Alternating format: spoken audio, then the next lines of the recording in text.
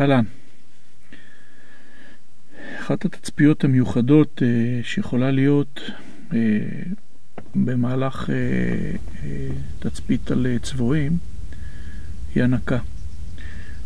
הגורים כרגע הם בני כשלושה חודשים. הם כבר יוצאים באופן עצמאי מהמאורה, עדיין נזהרים.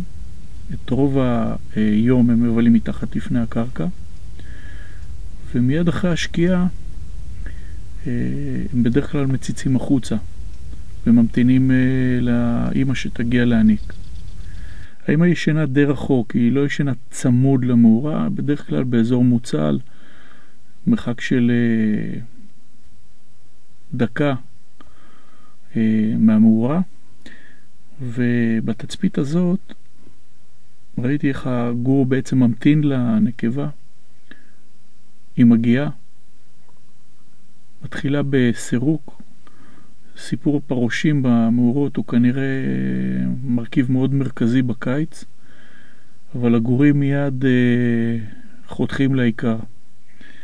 הם רעבים והם רוצים לנהוג, והם בעצם כמעט משכיבים את האימא בכוח, נתלים לה על הפטמות ומתחילים אה, לנהוג בכל הכוח.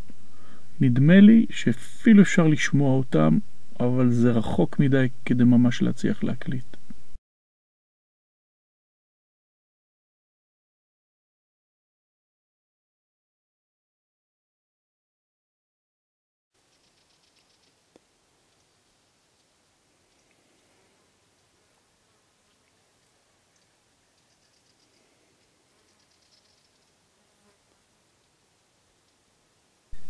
אז עד הפעם הבאה, להתראות.